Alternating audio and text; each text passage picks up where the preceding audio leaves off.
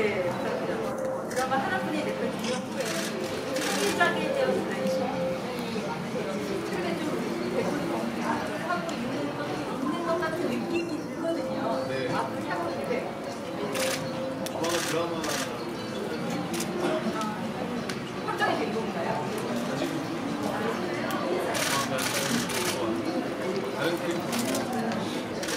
네, 네, 네. 다양한 매력 그렇게 기대하겠습니다.